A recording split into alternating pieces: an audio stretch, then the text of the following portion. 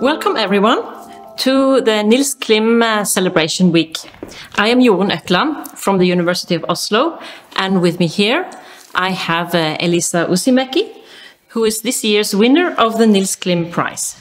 First, Elisa will get to introduce herself, but before that, I will provide some basic data and uh, give some of the reasons why she receives this prize now. Elisa is from Finland. She has her PhD from Helsinki and her doctoral degree from Aarhus. She is uh, affiliated now with the University of Aarhus, where she has a permanent position. The Nils Klim announcement lists all your great achievements at a young age. Uh, and it says that you are an exceptionally accomplished and productive scholar of the literary and cultural history of Judaism in antiquity. In your wide ranging research, you move confidently between the Dead Sea Scrolls, early Jewish writings, and Hellenistic philosophy, and you combine insights emerging from these varied sources in a highly original fashion. You have published a lot 40 peer reviewed articles, you have co edited uh, several volumes, and you have written two monographs Turning Proverbs Towards Torah, an analysis of 4Q525 from 2016, and this is a book on the Dead Sea Scrolls, and Lived Wisdom in Jewish Antiquity Studies in Exercise and Exemplarity 2021, and this deals with the wisdom literature. Elisa has received several awards and grants, including a recent European Research Council starting grant for the project An Intersectional Analysis of Ancient Jewish Travel Narratives. Uh, Elisa Uusimäki um, is accomplished in her academic area, relying on linguistic skills in languages and philological as well as hermeneutical expertise, as, as she delves into texts and matters that are highly relevant to our historical understanding of the ancient world. Her research topics and her ways of coming to grips with them also relate in significant ways to contemporary global concerns. She has worked in the area of wisdom studies, descriptive ethics, and cultural interaction, addressing issues such as lived ancient religion, gender, intersectionality, social hierarchy, enslavement, and several aspects of mobility. And recently, she has also turned her attention to women's journeys, the impact of plagues, and travel related anxieties. And part of this we have already discussed during the seminar that took place earlier today. Elisa Uusimäki's research span is remarkable, and her combination of, of classical and contemporary approaches, as well as her numerous original uh, contributions to scholarship are impressive and exemplary. So, in addition to this, which is taken basically from the announcement, I would just like to list, in addition to your monographs, also your, your edited uh, volumes and special issues. One thing is a theme issue, Wisdom Lost, uh, in Finnish. Um, and this is, a, this is a special issue of a Finnish journal. You have edited Gender in the Biblical World, um, which is published by the Finnish Exegetical Society. And you have edited a theme issue entitled Views on the Mediterranean in the Journal of, of for Theology and the Study of Religion. So these are some basics and uh, some of the praise you received from the Nils Klim Committee. And uh, is there some more you would like to add to begin with about your your kind of basic basic personal data? You know, thank you for the introduction. Yes, I come from Finland, as you said, and I'm currently based at Aarhus University in Denmark, where I serve as associate professor in, in Hebrew Bible and ancient Judaism. And yeah, as one can get, guess, maybe based on my um, area of expertise, I studied theology, study of religion, and Semitic philology at the University of Helsinki, also a minor in Arabic and Islamic studies. And and yeah, academic careers tend to be mobile, and that's also uh, in my case. So I did also do some studies at the universities of Manchester and Yale, and then as a postdoc, I also spent time in uh, at the Hebrew University of Jerusalem, uh, the University of Groningen, uh, also some time in the U.S. at Yale University and New York City area so so yeah th that's uh, me in the in the past years and and now i'm in denmark what motivated you to go into an academic career? I think it's, it's in general the, the love of learning.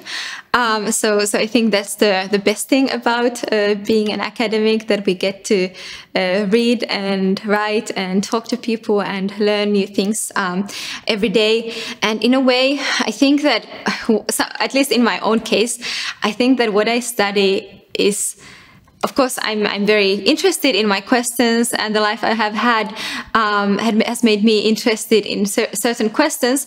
But at the same time, I also think that we kind of find the questions on the way. So, so I could be studying a lot of different things, and and I'm sure that they would be uh, super exciting things to study. So it's also like when you start to to dig a bit deeper and and um, get into a certain topic, that's the moment when you when you find the questions that you are interested in. And I think that could could happen um, in many contexts. So I ended up becoming a, a scholar of, of, history of religion, but but I'm sure there would be uh, a lot of uh, other things uh, in the world that that I would also get super excited about if I started to to delve into them. Let's move over to your work area. So something about your sources and your craft. Mm -hmm. Uh, and I will start with some very basic, simple questions. So, what are your research materials? Yeah. So my area of research is history of religion in the ancient Mediterranean milieu, and then my starting point in this enterprise is the ancient Jewish tradition. So basically, my sources are all possible um, sources uh, related to, to Jewish antiquity, especially in the Persian, Hellenistic, and early Roman periods. So I'm working on the Hebrew Bible or, or the Old Testament, as well as, it, as its uh, first translation, uh, the Septuaginta, the, the Greek um, Bible, but then I'm also working on a wide range of extra canonical material, such as the Dead Sea Scrolls, uh, Pseudepigrapha, the writings of Philo of Alexandria, and Flavius Josephus. So, yeah, various uh, literary uh, materials from, from the ancient Eastern Mediterranean. And to many people, that will sound um, a bit foreign, or like, how do I deal with ancient texts? Like that. So, could you explain just a little bit about the materiality and languages and how exactly you do it when you encounter one of these ancient texts or several of them? Yeah.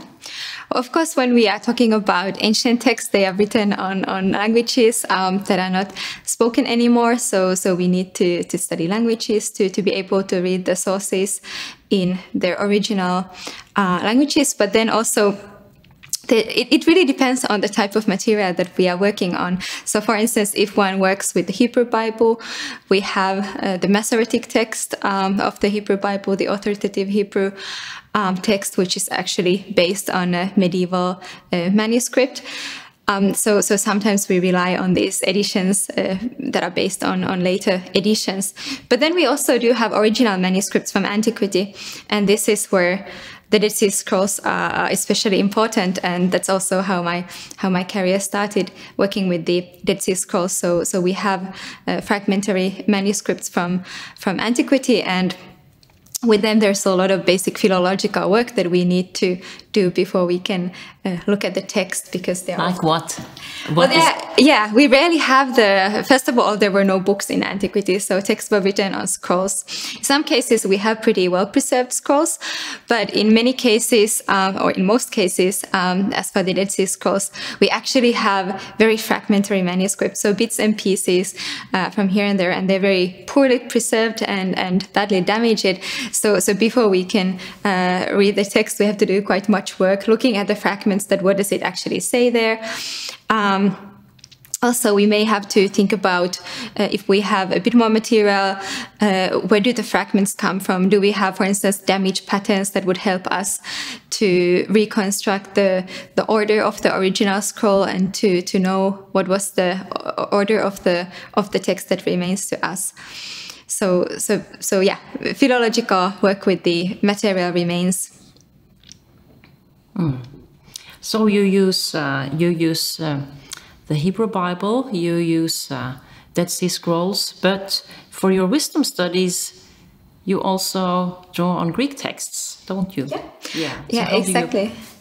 Yeah, so so I, as a scholar of ancient Eastern Mediterranean, um, I think it's very important for us to to work on all the material that we have, and and um, yeah, I want to move beyond divisions, uh, say between the Semitic uh, texts and the Greek texts, and try to bring these texts into conversation with each other and and therefore um, yes of course uh, Hebrew Bible and the Dead Scrolls where we have Hebrew and Aramaic uh, texts for the most part uh, they're very valuable but but equally valuable are also uh, writings um, uh, written in in Greek uh, around the turn of the era.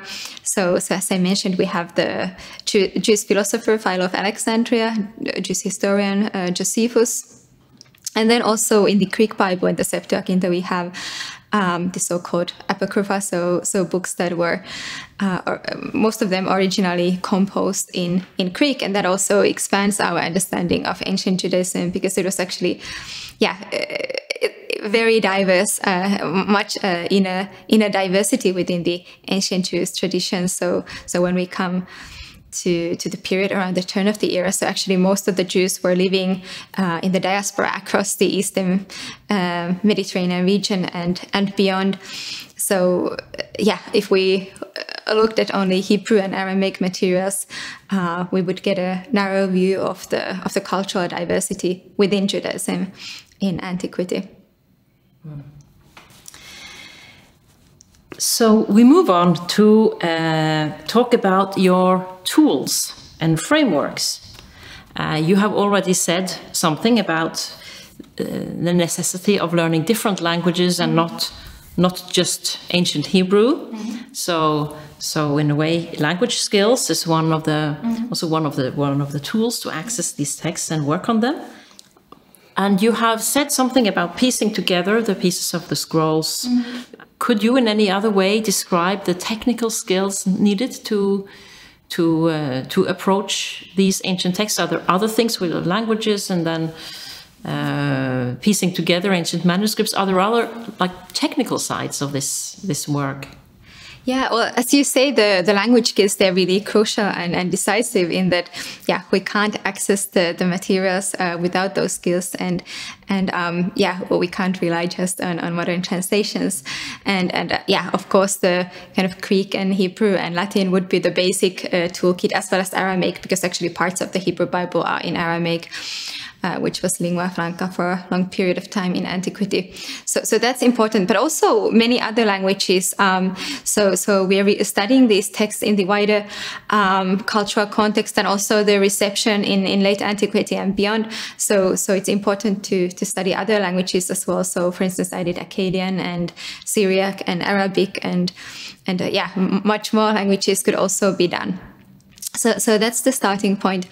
Um, yeah, th then it kind of depends on your approach and, and what you want to, to, to get out of the material. But yes, certainly this kind of um, material um, studies and material philology, uh, looking at the uh, extant manuscripts or, or, fragments that we have, and and uh, as I already mentioned, the yeah, trying to actually read what, what, it says and and maybe reconstruct some of the badly preserved passages and and scrolls yeah, then of course now uh, material philology. It has been a, a big and emerging uh, thing in in um, our fields in recent years, and this is something also what is increasingly done in in my field, and I think many Nor Norwegian scholars have been very pioneering in this respect.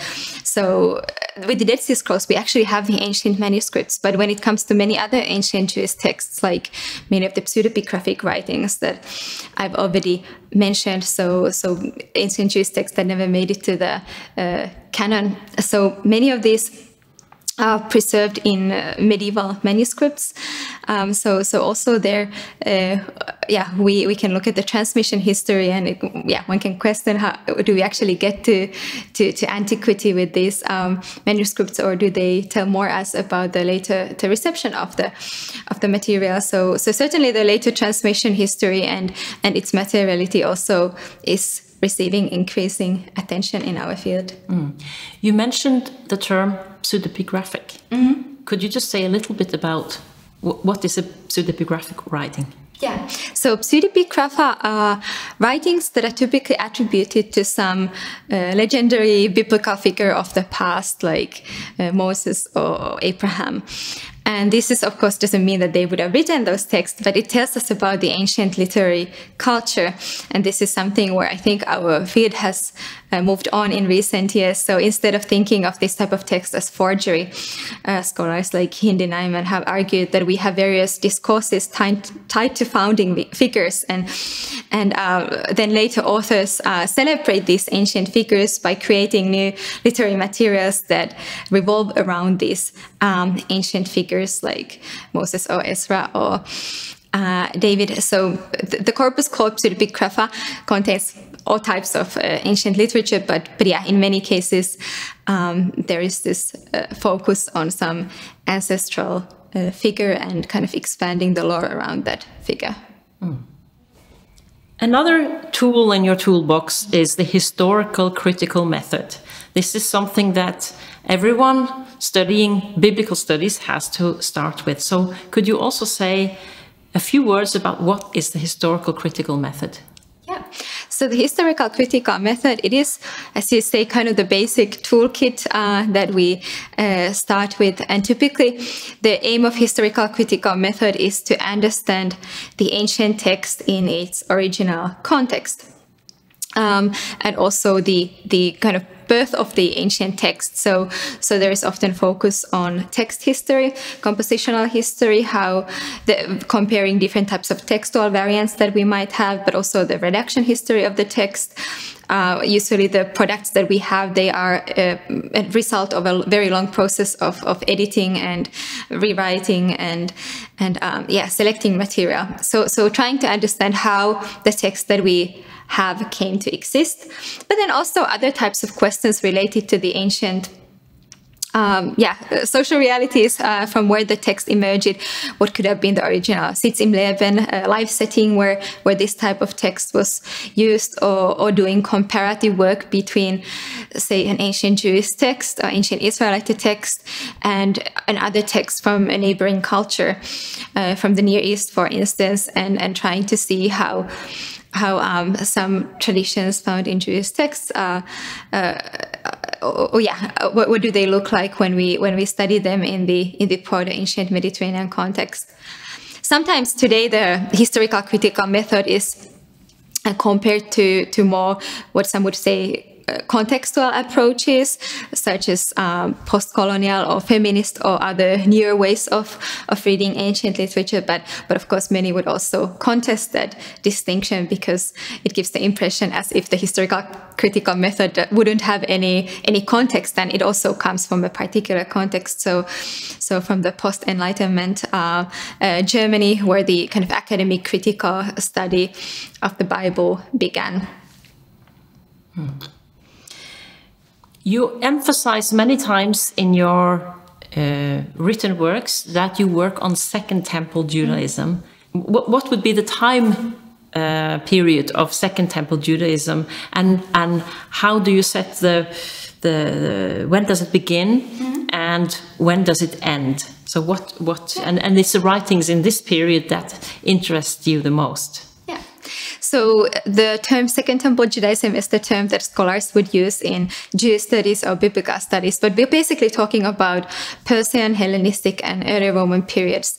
So in the history of Judaism, the Second Temple period begins after the Babylonian exile in the 6th century um, BCE when the Persians take over and the Jews are, or, or Judahites are able to return from Babylon to the home country and rebuild the temple, and that's now the second temple. So the first one was was destroyed by the Babylonians Babylonians before the uh, exile. And during the Second Temple period, uh, the Jews are under foreign rule, first uh, Persians, then during the Hellenistic period, sometimes the uh, area of, of Palestine, it's under Seleucid rule, sometimes under Ptolemaic rule. There is a short period of independence, the so-called Hasmonean state.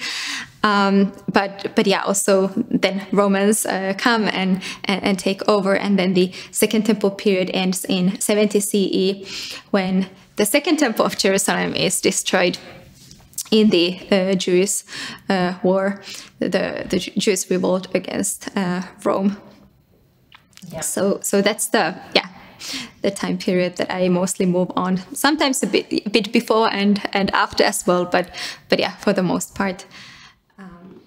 Yeah, and this destruction is then described in one of your main sources, Josephus uh, or one one source that you have engaged a lot with, and um, the end of the, the, the when when the temple was destroyed. Yeah, and we have different types of accounts. So Josephus gives us the kind of historical context and historical account of the event, but then we also have uh, apocalyptic texts, for instance, uh, Fourth Ezra, Second Baruch, that in different ways reflect the the destruction of of um, yeah Jerusalem. So so we do have texts representing different literary genres that that um, deal with the with the yeah trauma. Yeah, we also see in the in the New Testament mm -hmm. that some writings are written before the fall of the temple and some are written after the fall of the temple. And we although it is not addressed as directly we see the difference between those writings that are part of second temple judaism and those that come later. Yeah exactly. Yeah so early jesus movement it's part of the second temple jewish landscape. So the parting of the ways between Judaism and Christianity that took hundreds of, of years. And and um, yeah certainly when we're talking about the first century uh, CE this is the second temple Judaism. It's also the the matrix for the for the early Jesus movement and the emerging uh, Christianity. You mentioned many uh, different sources different many different strands of of, of movements in this period. When you study these materials, um, how how uh, does a study, as you describe it, translate into academia, into, for example, academic jobs, academic projects? How do you find your kind of uh, life as a professor in a, in a university? Uh, how does your study fit into the programs of the university? Yeah, well, I mean, in a way, uh, greatly in that I have I can have collaborations to to many directions. Um, I have uh, much in common with people who, who study the ancient Near East and and early ancient Israelite tradition. Uh, but then also my research uh, in Second Temple Judaism ties in with with um, say yeah emerging Christianity and and late antiquity and and the later later Jewish tradition there. Um, so from an academic or research perspective, it's very rich because there are so many conversations um, to many directions that are relevant to me. But then, of course, it can also be a, a, challenge in that the job market tends to be more conservative than the uh, research, um, uh, say, bodies of research funding. So if, if we want to uh, do research, of course, uh, yeah, that's how I was uh, trained in Helsinki. I was encouraged to to go for the new things and and uh, yeah, deconstruct canonical boundaries and work with the material where it's possible to say uh, new things. And and that's of course something that if you want to win research funding, so so if you're working on some new material, um, it's usually uh, it, it, might be easier to to sell than than some text that has already been studied for yeah hundreds of of years from particular uh, uh, perspectives.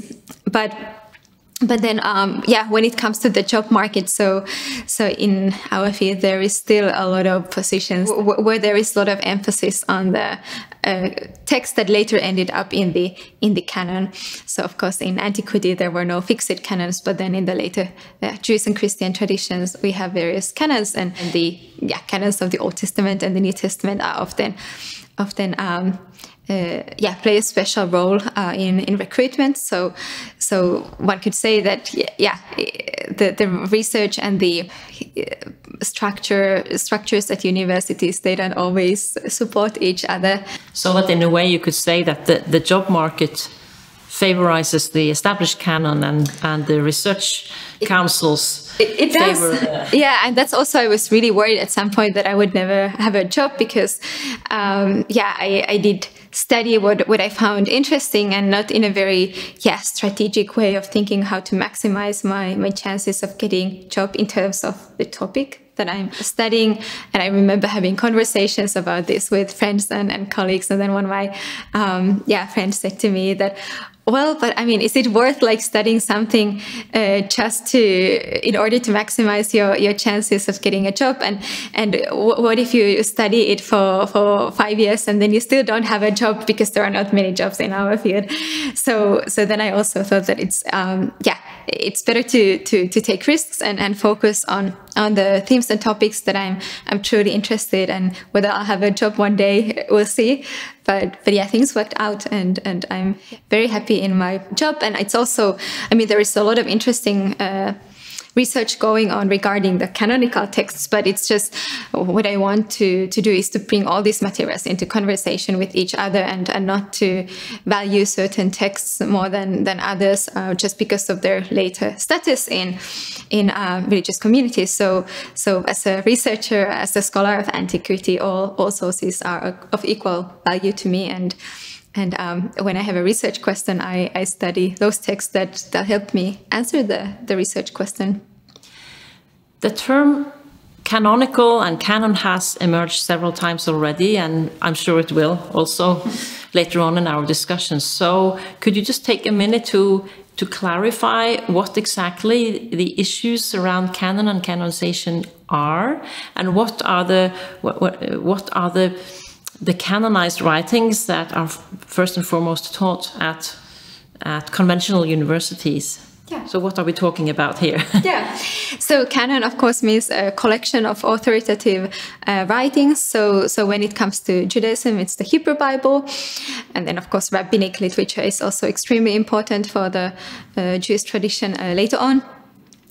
And then in the case of Christianity, it's the, the Bible consisting of the Old Testament and the New Testament, although we should remember that there are actually many different canons. So different Christian uh, groups and denominations have, have slightly different canons also today. So it's not fixed in that sense.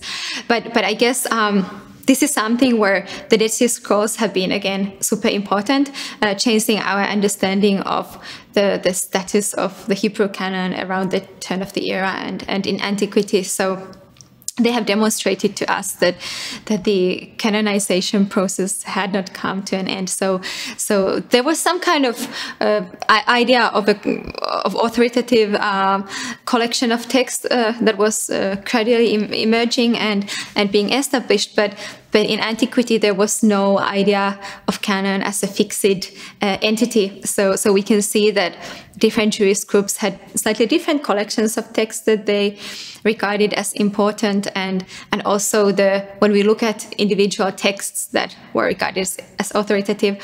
So their, their text forms uh, also fluctuate. So as a textual entity, the, the canon is not not fixed yet. Um, and when it is, um, that's a good question. Still in the second century CE, we have discussion on on, on the status of certain books um, now belonging to the Hebrew Bible. But also, many would say that even even after that, um, Jewish authors seem to be operating with a with an implicit uh, kind of canon and and actual kind of list of of canonical texts uh, that actually comes from the Christian tradition. So Athanasius in in late antiquity, that's where we have a first list of these texts belong to uh, to the canon. But then I don't know. This goes beyond my expertise. But but my um, colleagues in early Christian uh, studies would say that also in the Christian tradition, it is more open-ended after that. So, for instance, if we look at medieval manuscripts, we see all kinds of combinations of of texts. But but yeah, well, it's clear to us that uh, a canon was not an operative uh, concept for for um, ancient Jews. It's a historical construct, and it's not a meaningful way for us to organize our material if we want to understand the diversity and richness of the textual landscape in, in Jewish antiquity. The later canon, texts that later ended up in the canon, they give us a, a very uh, narrow view of the textual production um, in the yeah, so-called Second Temple period. Mm. Still today, um, some scholars would say that canon is not a definition of of uh, selected writings that are authorized, but canon is a genre. Because evidently, for example, also in the Christian tradition, there are so many canons around, like the Ethiopic, the the, the Eastern Orthodox, the mm. Catholic, the Protestant, etc. So that it's not like one thing, but it's a, it's more a genre. So, what would you say to such a to such a claim or statement, a definition?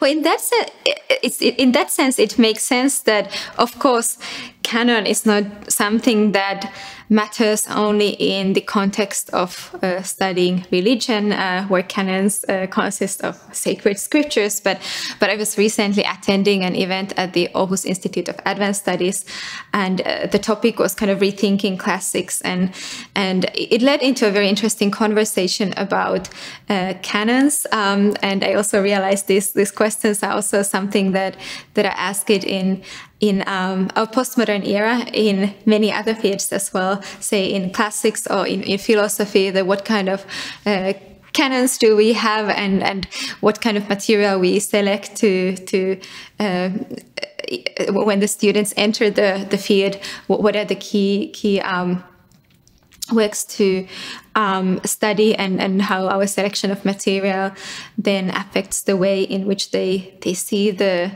um, the field.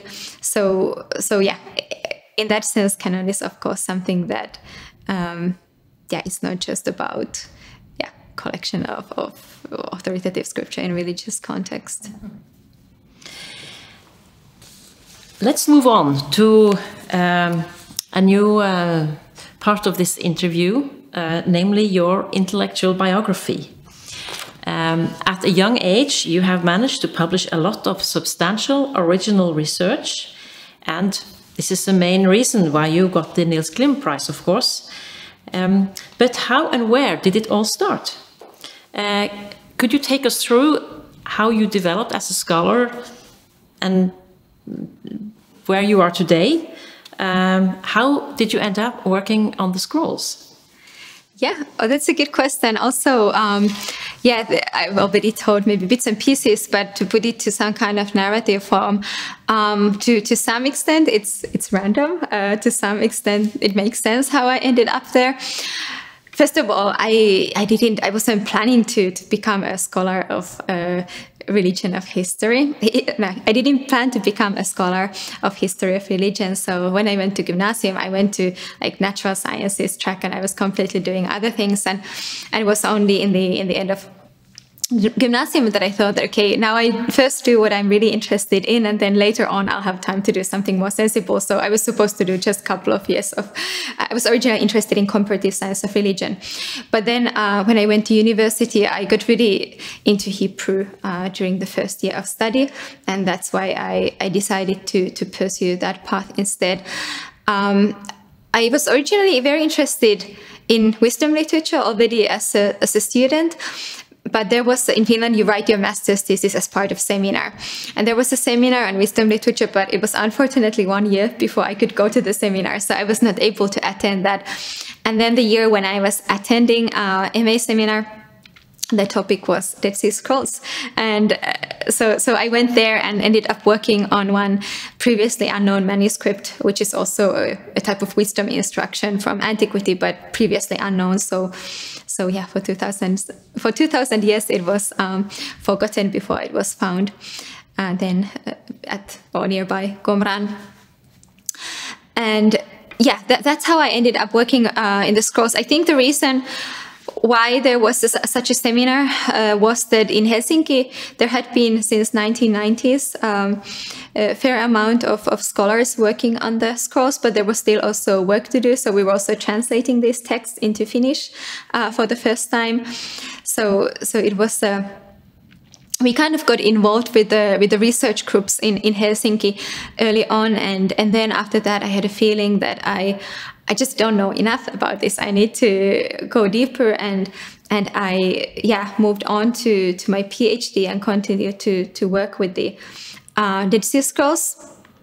It was at that time I had an idea that my PhD would be a bit more thematic and have several texts with which I would work, but then I was yeah studying in Helsinki and then also in, in Manchester and Yale. And I was actually told that no, you should I should first do a philological analysis, a close reading of one ancient manuscript that has not been studied in such detail before, and then later on I could do something more thematic and what I would want. And yeah, I was quite young at the time, and and then I thought that okay, well, this is how you how you become a scholar in that context. I I kind of yeah uh, had to be able to demonstrate my my skills in this kind of uh, philological work and historical critical research and I did love um, the time when I did my PhD. So so it was very uh, yeah rewarding. I love to to be in libraries and and yeah read and write and and it was very motivating in that respect.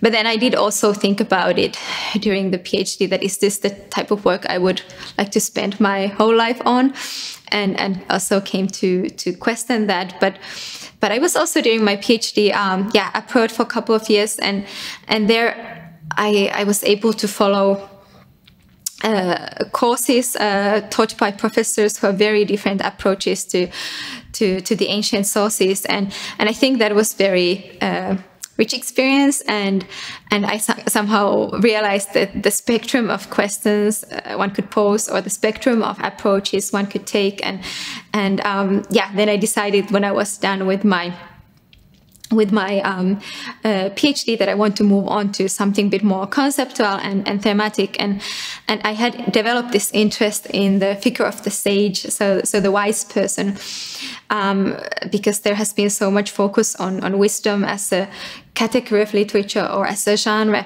But, but when I was reading the sources, I saw that we have all these um, kind of ideal embodiments of, of wisdom, uh, wise figures. And, and I also wanted to move to a more kind of cross-disciplinary and cross-cultural study of the of the ancient Jewish literature. So I wanted to study the uh, Jewish text in the wider Mediterranean context, and then this led me to to my kind of postdoc uh, project. Um, and then the outcome of this project is my, my second book, Lived Wisdom, where I try to to look at wisdom as something lived and practiced and, and embodied. So so not to think about what is wisdom or how to define wisdom text as a literary genre but but to ask questions like what is a wise person like? How does one become wise? Um, uh, how does one perform one's wisdom? And also during these years I, I developed uh, an interest in kind of descriptive ethics and ancient Jewish virtue discourses. And these two, uh, yeah, lived wisdom and, and virtue discourses, they kind of closely intertwine. So I, I, um, I, I guess, yeah, I ended up developing a new way of, of looking at um, ancient Jewish uh, wisdom material or material that uh, discusses wisdom um, as, as something, yeah, lived, embodied, and, and performed. So, in your work on wisdom, you mentioned uh, descriptive ethics. Yeah. And I wondered if you could just explain a little bit what descriptive ethics is and in the ancient context and and also the way you have worked on ethics then in in the ancient Mediterranean and uh, and uh, I know that you know I, some people have kind of questioned whether you can really compare Ben Sira, one of the mm -hmm. one of one one of your key writers there with with, for example, uh, equivalent uh, authors in, for example, uh, uh Greek uh, Greek non-Jewish mm -hmm. um, uh, literature. Yeah. So first to, to start with the question of descriptive ethics. So so why I say descriptive ethics is it's because I want to signal that my work on ancient ethical traditions it's um, descriptive, not normative. So I'm not uh, making any claims on on how people should or should not uh, uh, live today or, or what they should uh, take out of the, those texts, if anything. But but I'm more interested in the ancient Jewish tradition and its ideas of, of um, virtue and the good life and ideal ways of living from a, from a descriptive kind of historical uh, perspective. So th that's um, yeah, that, that's the key starting point. And then, of course, this whole question of, of uh, why study ethics in the context of Jewish antiquity, or does it make sense? So, of course, this is also uh, uh, depends on, or, or, or yes, uh, we can, but it means different things in different contexts. So, so if we're talking about the Jews who operated in Hebrew and Aramaic in the Semitic languages, so they don't, of course, have a meta category for, for ethics, or they don't have a meta category meaning virtue like arete in uh, Greek or, or, virtus in, in Latin. But the fact that they don't have certain uh, categories that we find find in the Greco-Roman uh, tradition doesn't mean that they wouldn't have been concerned with the questions of of um, uh, ethics and the good life. And and this is also where we, we need a descriptive approach to try to to understand the culture in its own terms and what kind of uh, idiom does it use to talk about um, these things. And yeah. So so in a way what i hear you're saying is that if you if you want to have a good life, you need to be a good person. And the wisdom literature teaches you to be a good person and then have a good life. Yeah, in the sense that the, it is often quite. Um, it's a literature that describes ideals. Uh, it describes ideal social realities. How um, it it gives us various. Um, uh, accounts of things that one should pursue, and there is this formative element uh, into it, or formative aspect to it. So, so it is um, formative, idealistic, maybe even perfectionist um, at, at, times. So, so certainly there is that element of aspiration, um, which is, yeah, uh, decisive or crucial to it. Yeah, then the other question concerned um, comparison and what can we compare. Um, I think that we can uh, compare anything. Of course, we, we get different things out of compar comparison of different things, but but like why I think it makes sense to compare, uh, say, Jewish uh, materials with uh, Greek materials or, or, some materials from the ancient Near East. So so um, the Jewish tradition was never isolated from its wider cultural milieu in the ancient Eastern Mediterranean. Uh, there were trade routes, uh, people would move around, ideas would move around, objects would move around. Um, so, so to me, it would seem artificial uh, uh not to look at that uh, comparative material we have from from different. Um, uh, yeah, cultures or, or neighboring um, areas. So, so we can certainly compare and we should compare if we want to get the bigger picture and and and see how how uh, how the Jewish tradition fits to it and, and the purpose of comparison it's not just about I don't know maybe some people when they hear the word com comparative work they might think of um, simplistic models of influence like did this uh, tradition influence the, the Jewish thinking or, or not but but I don't think um, it's not primarily about uh, influence, but it's about seeing various uh, parallels or similarities as well as dissimilarities. So, so it helps us see how, uh, say, traditions in the ancient Eastern Mediterranean, how they might uh, remind each uh, resemble how they might resemble each other in certain respects, but then also highlights the differences. Uh, what are maybe the yeah distinctive emphasis in um, in different traditions. Mm. And now you have a new project. Yeah, so after these um, kind of two bigger projects, first on the scrolls and then on the wisdom tradition, I moved on to work on travel and mobility in antiquity.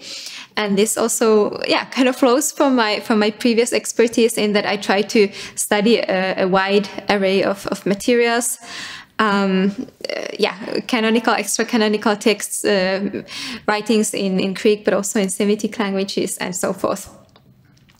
And, and I first started to think about travel when I was uh, writing an article on, on sages and, and educational travel in antiquity, because we have some references to how people are said to gain wisdom or knowledge or understanding by means of travel.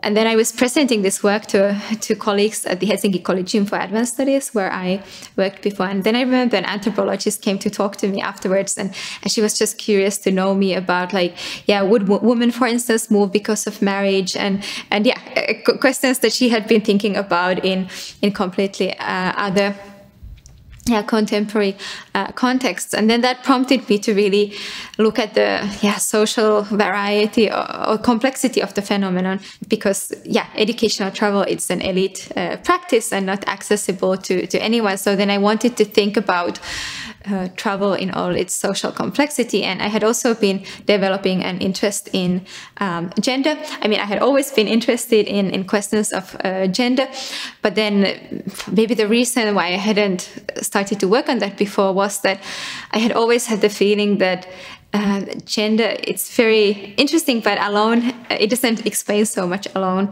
and then i had come across uh, intersectionality and and this is where i really thought that um, it's helpful because it takes gender into consideration, but it also takes into consideration uh, many other differences between human beings. And, and I saw there are a lot of interpretative potential. And, and this is also something that, um, yeah, in my field, these approaches are emerging, of course, in social sciences, um, study of contemporary world, they've been around for, for a long time already. But in my field, it's, it's, um, yeah, really emerging and and yeah, some of the pioneers really come from from Norway in this respect as well, like Marianne Bjelland in Oslo.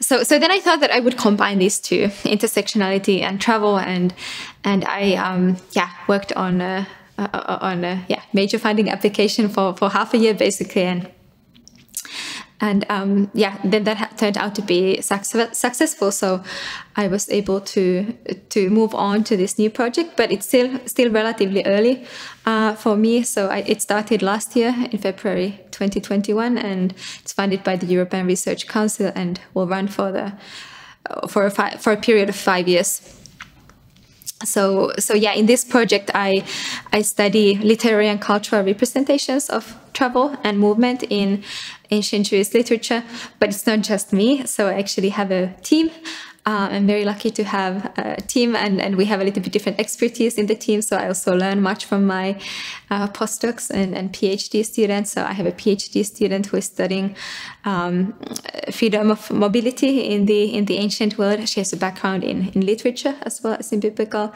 studies. Then I have postdocs who have background in the study of religion and classics and and uh, theology history. So so they're also um, studying different aspects of travel in especially in, in Greco-Roman, um, uh, in the Greco-Roman period in the Jewish tradition. So, so my own, I have several. Uh, there are several work packages in the project, and I have several um, ongoing uh, publication projects. But my main contribution in this context will be a, a, a more in-depth study on on women's mobility in the ancient world. Hmm. A heading for your work that I have seen uh, uh, used in many in many contexts is literary and cultural history of Judaism from the Persian to the Roman uh, period.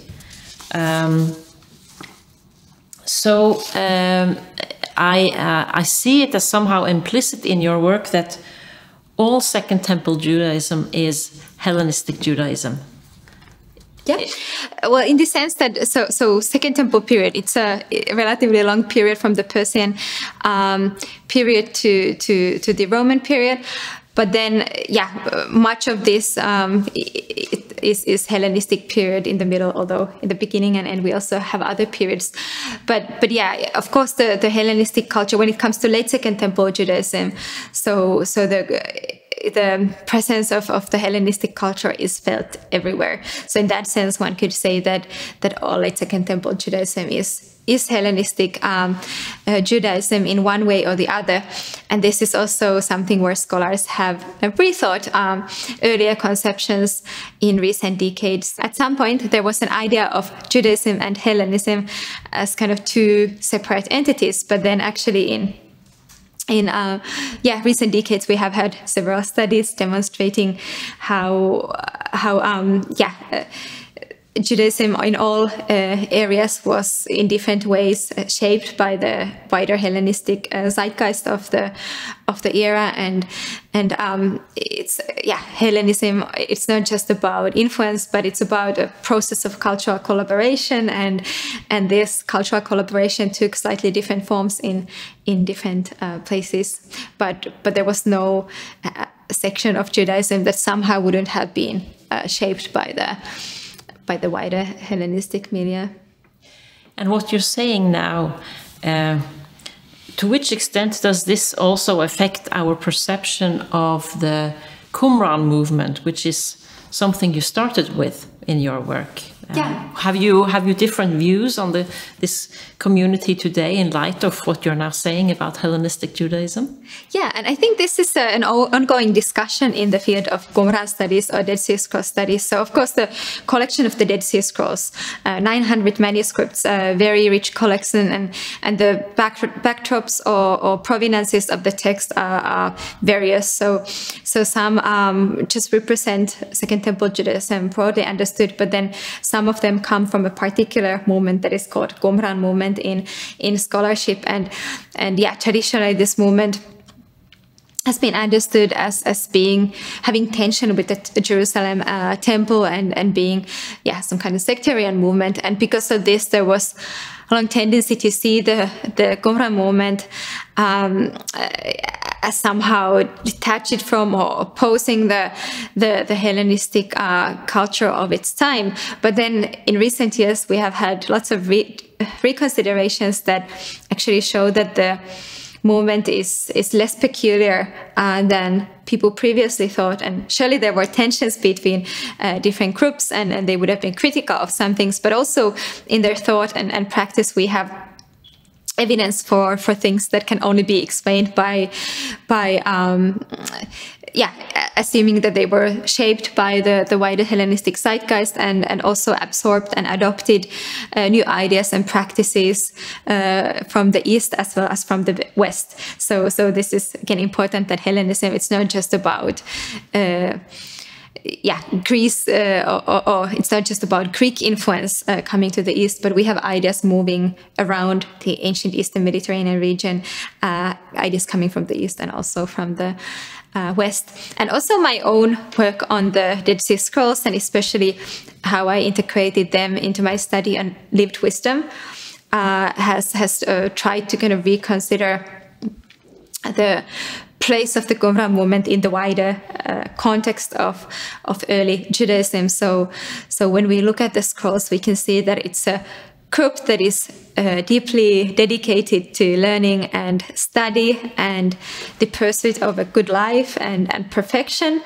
And when we look at the ideal ways of living, how they're described in the scrolls. And if we compare those to, say, Greek Jewish accounts of, of the good life from the same period, so we can see that actually, um, of course, there are distinctive emphases here and there, but but overall, um, the same kind of uh, yeah wish to to pursue a life of perfection in a communal setting is also also found elsewhere. So I think that this uh, concern for wisdom um, in the in the group, group is something that that is um, needs to be taken into account when we rethink the place of the movement in the uh, yeah Hellenistic world. The Qumran community is above all known from its numerous manuscripts. In fact, this is why the Qumran community was discovered, because we discovered the manuscripts. And in which ways was the practice of wisdom and the copying of manuscripts connected? Because you have pointed out how central the motive of wisdom is in this literature. Yeah. Yeah, so certainly we can see that it was a group that appreciated learning and, and scribal work, and they would uh, produce texts but also copy texts. So, so it was integral to their um, idea of, of um, uh, yeah, uh, an ideal way of, of living, learning, and, and dealing with texts. And, and then when it comes to the role of wisdom texts uh, within the group's thought, so I think this is also where changes are, are happening. So many of the so-called wisdom instructions from Qumran, so they are kind of non-sectarian in character. So the provenances are probably not in the Qumran movement. Some might be, but in many cases they come from late Second Temple Jewish sources, broadly, broadly understood. No, late Second Temple Jewish circles broadly understood. And because of this, there was perhaps a tendency for a long time, as pointed out by George Brooke, to, to see the uh, huge amount of uh, wisdom literature that we have in the collection as somehow a little bit separate from the from the group's uh, key aims or, or concerns.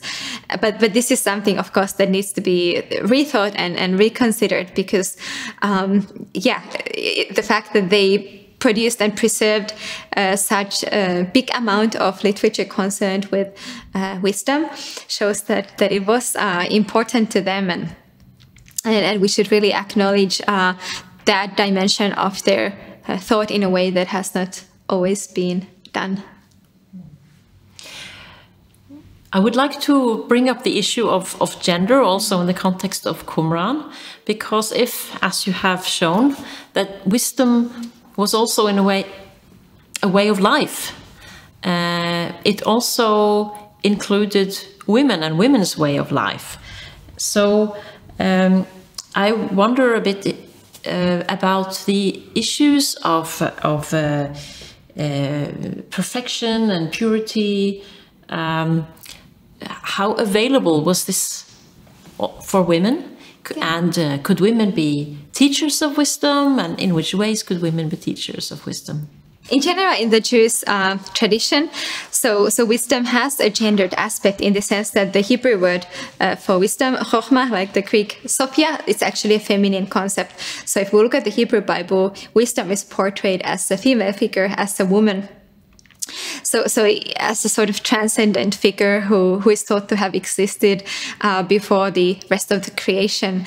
So, so, so wisdom has a huge uh, importance in the in the Jewish thought. But then when we look at many of the wisdom instructions, they come from elite uh, strata of the society, upper strata of the society, and they are meant at educating uh, young men. So, so then there is often very kind of patriarchal context and it's instruction delivered by fathers to, to sons and that's one yeah where one might ask whether there's a place for for women in the in the wisdom tradition. But but already in the hebrew bible we do have various hints as uh, hints at uh, women as teachers or mothers as teachers and it makes sense in that the majority of um, education in the ancient world it was not institutionalized in the same way as it is today. So home was an important place of learning and therefore mothers would have um, special roles as well. When it comes to the dead sea scrolls uh, movement also scholarly conceptions have shifted there. So in the early research, the group was seen often as a celibate uh, group, maybe some kind of proto-monastic community this impression was perhaps influenced by the fact that many of the first Dead Sea Scrolls scholars were Roman Catholic monks, and maybe they were also projecting their own lifestyle to the material that they were studying. But then when we look at the scrolls collection as a whole, and we can see that uh, actually women and children were also part of the movement. Uh, it's debated whether part a section of the movement would have been celibate, but certainly not the uh, whole movement, which also included uh, women and, and children. And we have occasional glimpses of, for instance, instruction in the context of marriage uh, directed at women. But maybe uh, one aspect of woman's wisdom that has been overlooked um, is this purity that you you mentioned. So when we look at the scrolls, there's a lot of focus on on kind of life of holiness and purity, and of course, uh, if we think of ritual purity in the Jewish tradition, so it's very important for for women to. Uh, as well as, as men to, to perform uh, yeah certain practices um, in order to to uh, yeah retain uh, ritual purity.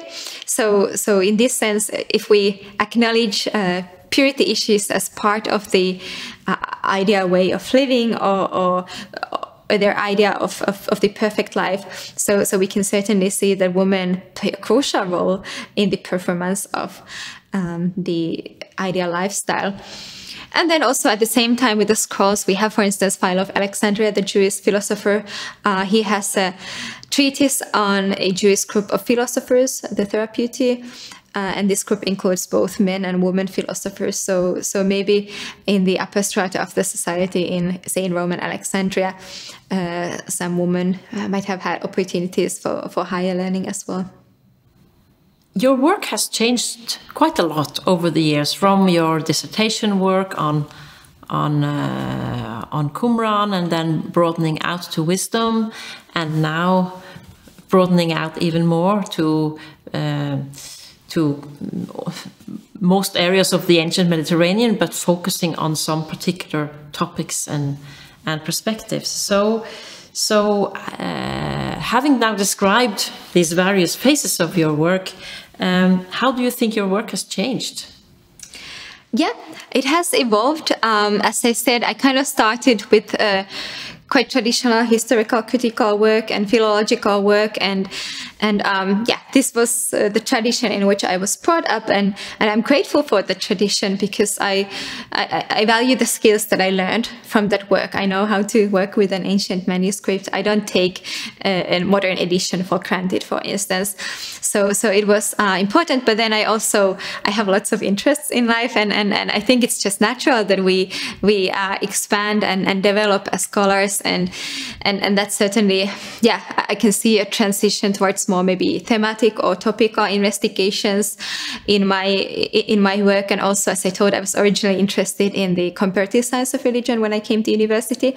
And now i'm maybe also discovering uh, some of those uh, questions um, that and approaches that that have uh, emerged from from that field. And as well as, yeah, for instance, gender studies and bringing them into conversation with my you know, philological uh, background. So, so I, I, don't see different approaches as mutually exclusive. And I would also, yeah, I, I want my work to be historical and descriptive in orientation, but then I'm also happy to make use of, of um, new approaches and and um, of course i mean it depends on the question that i'm asking uh, the approach that i need to to choose. So I'm certain that in the future as well, I'm going to to go to new new directions that I'm not aware of yet. These other perspectives uh, we have talked about intersectionality and and gender, and they are in a way questions from our own time um, that we we. Uh, we study in a contemporary way, but also questions that scholars working with ancient materials take uh, to the ancient materials. So we ask questions in a way uh, and look for answers in the past. Doesn't this uh, include some level of anachronism? Yes, we need a constant process of um, deconstruction.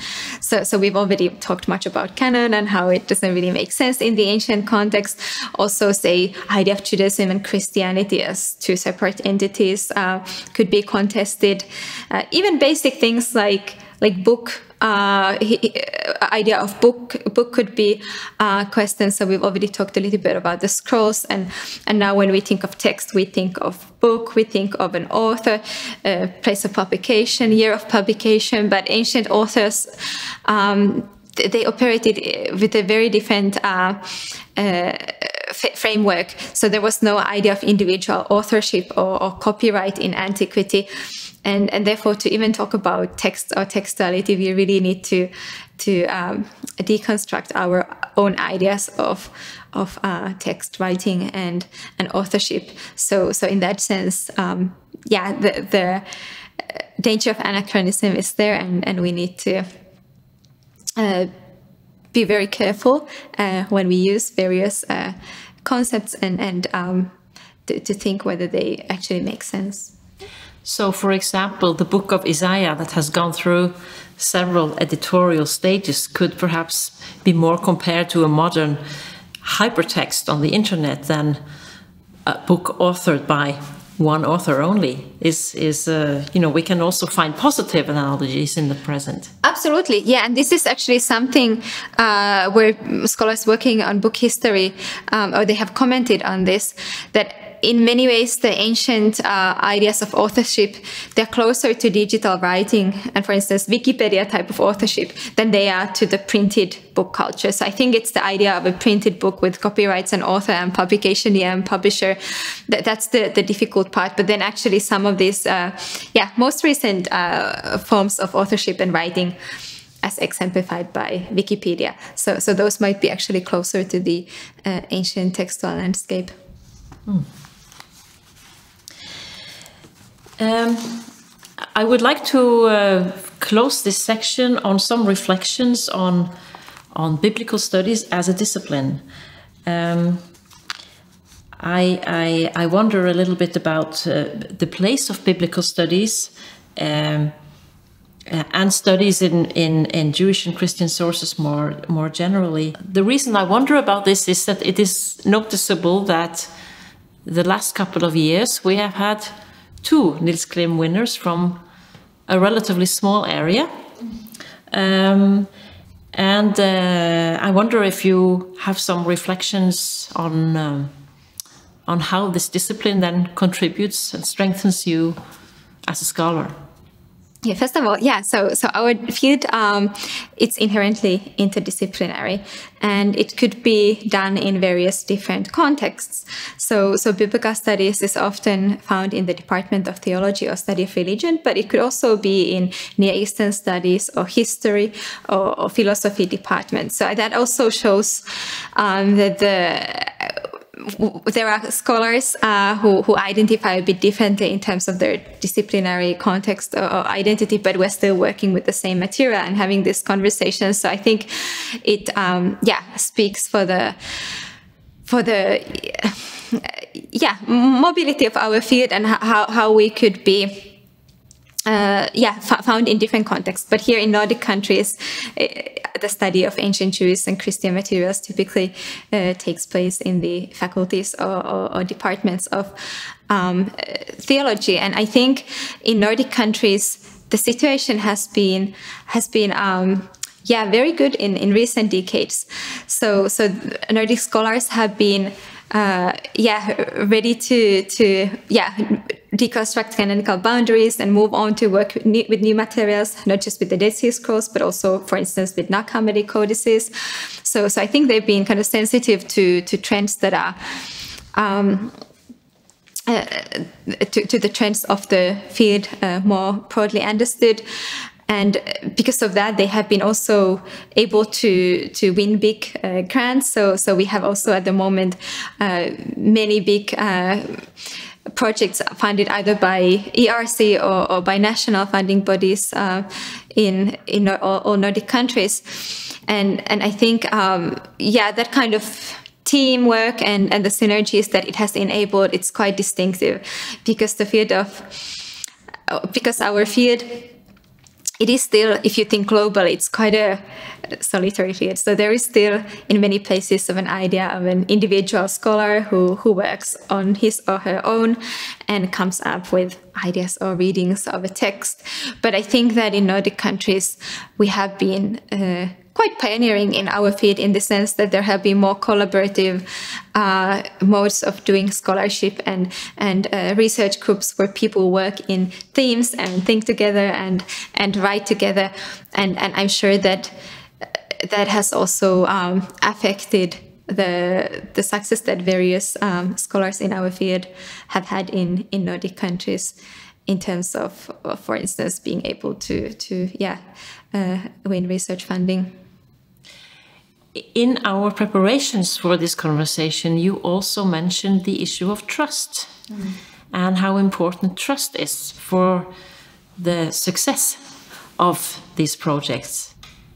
Yeah, yeah. Well, maybe in, in general, um, if I think of, of faculties of or departments of theology in Nordic countries. So I have a sense that that we are uh, trusted by our societies, that, that we are doing rigorous, um, uh, yeah, non-confessional study of, of religious traditions, and that there is a place for that in the in the contemporary academia and and we're taking taken seriously. So so I think we have the kind of societal support for for doing what we do uh, in the in the university. Of course, there are challenges as well. So so for instance, if I think of the ERC funding structure, so and the panels that they have and the subfields. So, so there is no niche for, say, biblical scholars or theologians. So, in that sense, we also have to argue and be able to demonstrate our relevance, and we have to be able to to uh, to communicate the relevance of, of our research to a wider cross-disciplinary audience if we want to to continue to operate. But but I personally don't see that as a problem because, as I said, the field is inherently interdisciplinary in orientation. You can't study ancient texts, ancient Jewish or Christian texts, if you also are not interested in other texts and material objects from the ancient world. And in terms of method, uh, we can't uh, study these texts if we don't also follow what's going on in other fields in humanities and social sciences and, and bring uh, theories and approaches developed elsewhere into conversation with our ancient materials. So, so I'm um, yeah hopeful that it's uh, possible in the in the future as well, even if we maybe maybe can't take can't take our um, place for granted and maybe the, the volume in which we do our work is not the same as it was 50 years ago in terms of amount of, of um, jobs at universities, for instance. But, but certainly, yeah, this, this, yeah, the challenges we have, they're also something we, we share with many other people in humanities, for instance, in, in classics. So the challenges, in a way, makes us better. Yeah, I think it, it, does in the sense that we can't like, uh, yeah, we have to actively think that what, what we're doing and, and, and how how to communicate uh, the relevance of what we uh, do to to a wider audience of scholars. So I think it keeps us awake. We have talked about bringing uh, modern perspectives, modern questions um, into the ancient world. Uh, and whether our questioning then becomes anachronistic. But then we also have many people around us who maybe have not studied these texts as carefully as you have, and they um, would like, for example, an ancient perspective on wisdom, or they would like a biblical perspective on marriage or some other topic. Um, how how uh, have, do you have thoughts on how we can take our knowledge of the past into conversation with the world in which we live and different ways of doing that? Mm.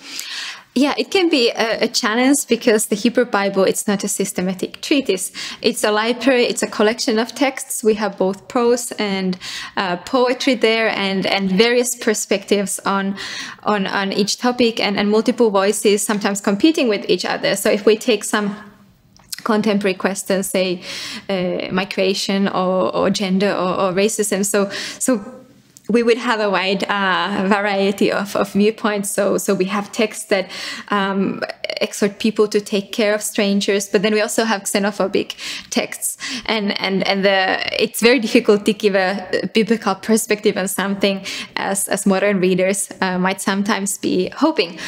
But despite the, the difficulty of the task, I think we, it's important for us also to, to bring this text into conversation with contemporary audiences and contemporary readers and struggling with contemporary phenomenon because we are also in many ways uh, building on them consciously or unconsciously and and um, say biblical literature it also continues to be generative uh, around the world.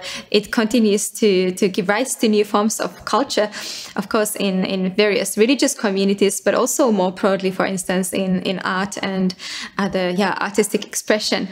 So uh, yeah we, we certainly uh, need to to create those conversations, even though uh, it's more complicated than some might think.